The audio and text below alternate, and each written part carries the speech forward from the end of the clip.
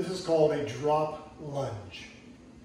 I bring my right leg far back behind my left leg. Drop down in the front, not shifting forward. Back knee almost touches the ground. Feel a big stretch in my left glute. Stand back up. Left leg far back behind my right leg as I can go. Drop down, feel the stretch in my right hip. I'm not shifting forward. So this would be switching or alternating drop lunges. Try to keep the front foot straight ahead and the back foot straight ahead.